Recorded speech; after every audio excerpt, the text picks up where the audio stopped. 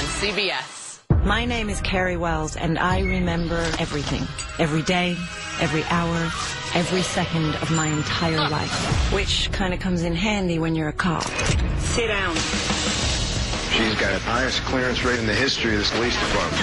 And she doesn't forget anything. It's a medical thing. She can't forget anything. You shouldn't have come alone. She didn't. Carrie, what are you remembering? There's a shadow. I didn't notice it before. You were wearing a leather jacket, round, three buttons. I gave you that jacket. Shut up! Admit it, you're good at this.